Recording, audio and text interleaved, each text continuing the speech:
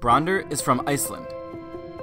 He's a painter, an entrepreneur and venture capitalist. He's also paralyzed from the neck down.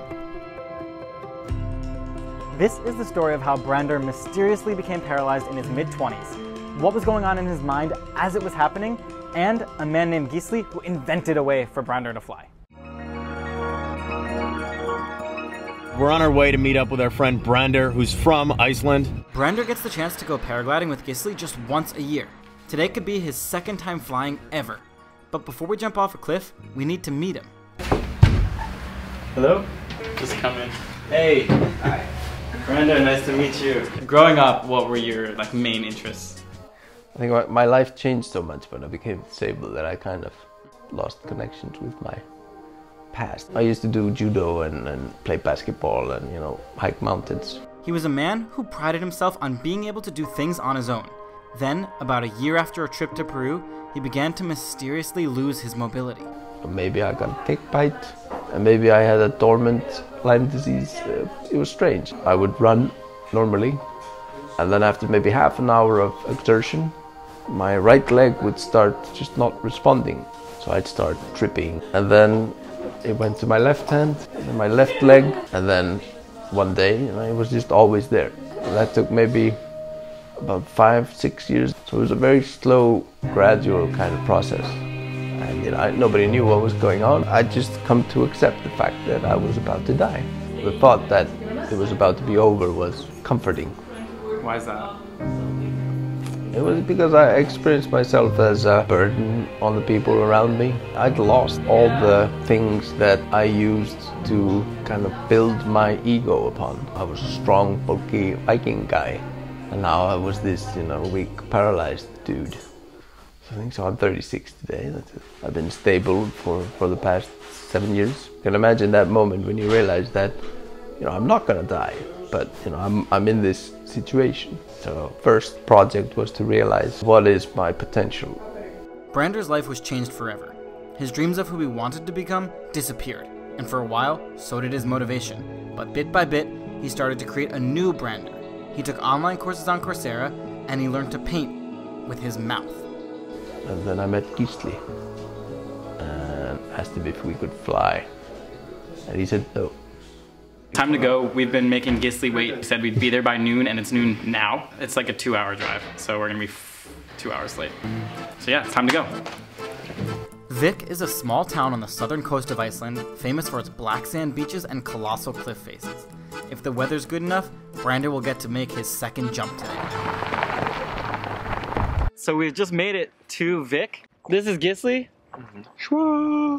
Yeah. How, how Gisli, you run True Adventure here in Vik, and uh, how's how's today looking for for flying?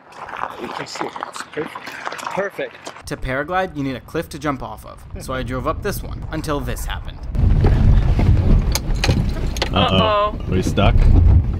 No, no, no, you're not stuck. It's alright. So just put it in first gear. Yeah. Made it through that terrifying spot. The car was stuck for a little bit, going in reverse up the edge of a cliff. Brandur really guided us through there. This is the flying chair that Gisli and a team of engineers built for Brandur, but it almost didn't happen.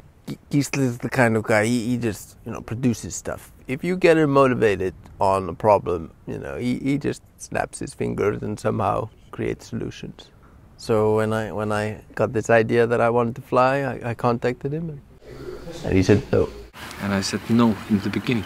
Uh, it was hard to say no, so I put my mind into it. And the day after, I called Brandur and told him it's doable. That small decision led to an 18 month journey, working with a team of aerospace engineers to design a chair that would allow Gisli and Brandur to fly together. What was going through your head the next day that made you change your mind?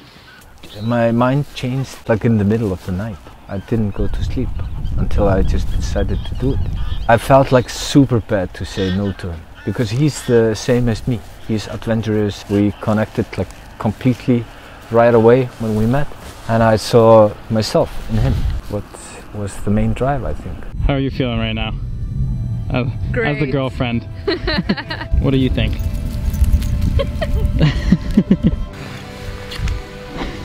Can I also kiss him? That's all tail. Everybody gets a kiss. Okay, Brandur's in the seat, they're getting the kite ready, and they are about to jump off this cliff. That's it. Let's see what happens.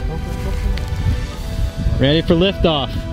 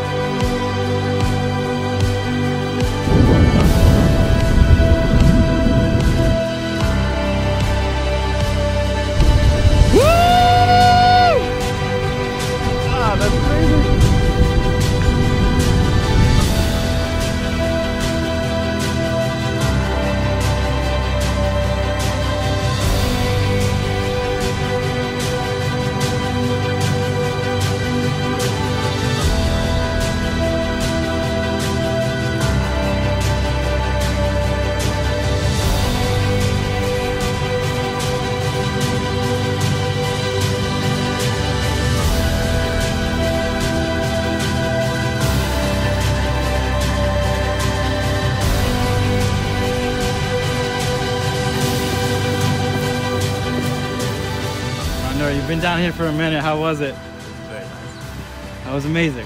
Yeah. That was so cool. I'm so impressed. I feel sorry for myself. I can think about Brandur. But I don't feel sorry for him. It's not like a pity. I mean, I'm just impressed. It's not what is in front of you, it's your perspective of the obstacles in your life. You can see it. If you're around him, you get affected by it. Has there been any like like unexpected thing you've seen that like this has given you? My situation? Yeah, yeah, I think there are many. When I became sick, I thought I was gonna die, so there was no pressure to actually achieve anything with, you know, my life. And that was a very liberating feeling. It kind of made it so that I was able to completely write my own story. So I got to ask myself, you know, who do you really want to be? And you're not going to be the guy you thought you were going to be. So you can throw that book out, out the window. I realized that the only real thing that gives life meaning is, is you know, other people. If you spend your time helping others, especially the people around you, they're gonna come and help you back. Take that and help others around them. So eventually you create like a community of people, everybody helping each other. So this disconnect from my past was, was quite quite cool. Anyway.